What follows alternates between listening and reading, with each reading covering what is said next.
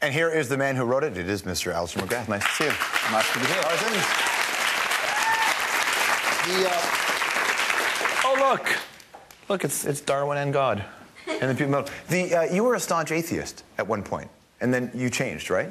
Yeah, I, I, used to be a real atheist when I was young.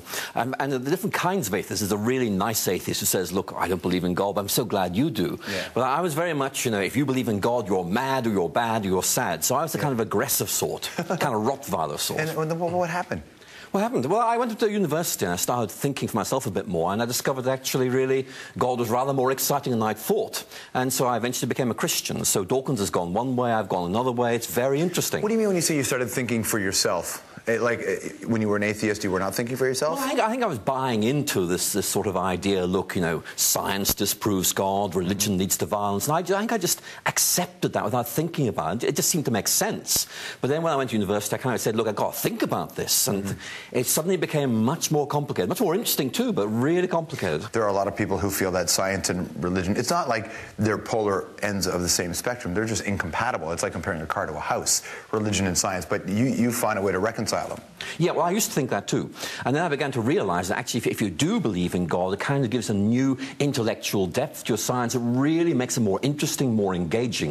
And I began to realize that actually, if you believe in God, it, it gives you reasons to look at science in much more detail, but also brings more excitement, more, more depth to your science. So give me an example of the excitement and the depth. Well, you know, what, if, if, you if you say you're a Christian, okay, you'll say, well, God made this stuff. So you, you look at that and you say, hey, you know, the more I appreciate the beauty of nature, I appreciate the beauty of God. So studying nature is all about gaining, you know, a, a deeper appreciation of, of God. Didn't God just say, let there be light?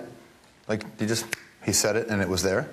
Well, I mean, he may have done this in a more complicated way than that, but the key point is, in some way, you look at the beauty of nature, and that reflects the, beauty of God. So it gives you an idea that God must be, you know, really quite interesting. You know, on our show, because we, obviously so many people are, uh, have some sort of faith in their mm. life, and, we, and it's something that's very interesting to us. And we've had people on, you know, the, Dawkins was on our Yeah, show last week. You know, you, you're on this show now. A lot of different people, and when it comes to people of faith, explaining, trying to discount science or, or explain science through God, it's generally very unsatisfying because they sort of hit the wall in terms of how do you, you know, like science is, seems to have over the years done a pretty good job of explaining a lot. Doesn't explain everything, but it certainly has explained a lot more.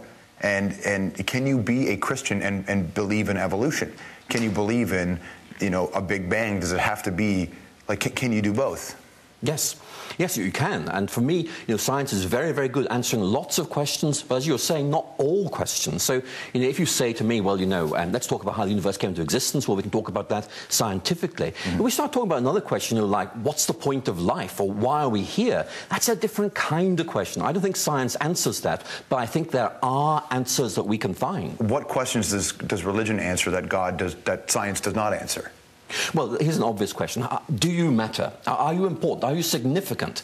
You know, and that's a very important question. And uh, if I was speaking from a Christian perspective, I would say you matter profoundly to God, that He cares about you. Now, these, these are very important issues. I mean, I don't think science answers those, but we're always going to be asking these big questions. You know, do we really matter? And the answer is yes, we do. That, that sounds more like philosophy to me than science.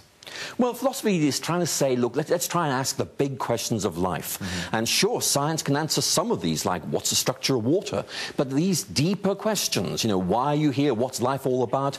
I don't think science answers those, but there are answers, and you and I can really have a good go at discovering them. You, you mean, uh, right now you've got two books out that have gone after Dawkins and his ideas. Uh, Richard Dawkins. Why, why Dawkins? Well, because uh, Dawkins has, you know, really raised some very big questions, and he's, he said some things that I think have got a very good debate going. So it's very important to be part of that discussion. And so both my books are really trying to take this discussion further. Can I uh, read a quote from you? You might have already heard this. Uh, this is from Dawkins towards you, and I know that you, you, you and him have debated before. Yep. Right? And here's what he said.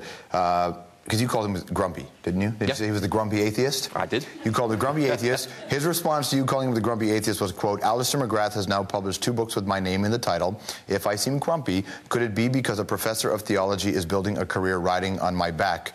It is tempting to quote Yeats, was there ever a dog that praised his fleas?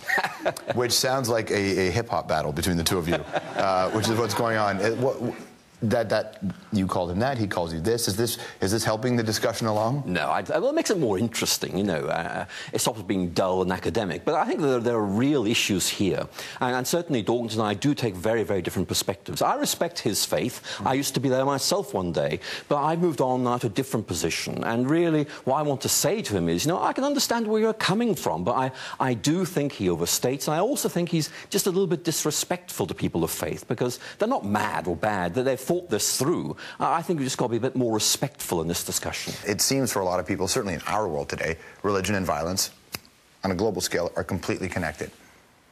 Yeah, I think that's a real issue, and certainly it's a real challenge to people of faith to, to, to realize that this sort of thing is happening.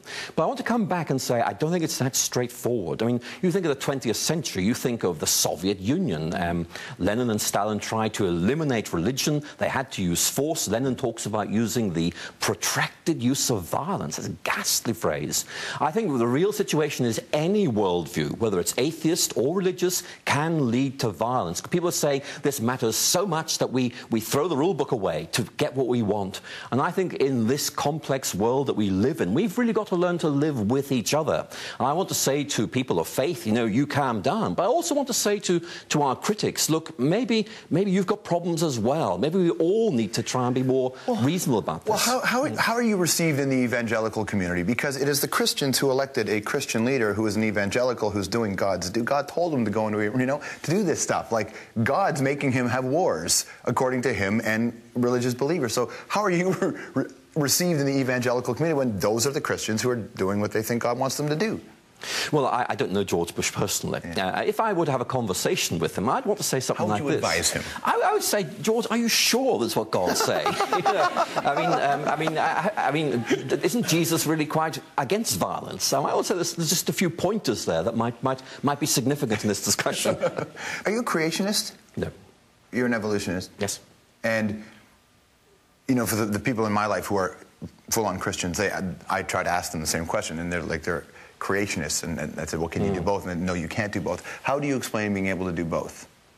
Well, for me, um, evolution makes more sense scientifically of things than anything else. I mean, maybe in 100 years' time, we'll have to change our mind on that. But certainly for the moment, that seems the best way of doing it. Mm-hmm. But for Christians, you know, the key thing is going to be how you interpret the Bible. There are so many different ways of making sense of the Bible, and certainly saying that the Bible talks about God bringing things into existence over a long period of time actually does make a lot of sense. There's an ongoing discussion within Christianity about this. I'm at one end of the discussion, there'll be others at the other end, but the the important thing is to have a sensible discussion about this. Right. So, so you're not a biblical literalist. No, then. I wouldn't be. Not, not at that point, certainly, no. Atheism has always been around, but you're starting to see authors putting out books now. That yeah. It, yeah. Is there a renaissance of well, atheism? That, that's a great question. Why is it? Why is it so more aggressive? I mean, you read books like Richard Dawkins or others, and they're, they're really in your face. It's, it's, a, it's not sort of um, here's a nice kind of atheism. Much more, you know, let's let's let's get rid of religion. So yeah. I'd love to know why there's this this new energy in atheism. I think it's probably because I, I think for the first time in a long time, the atheists are now taking the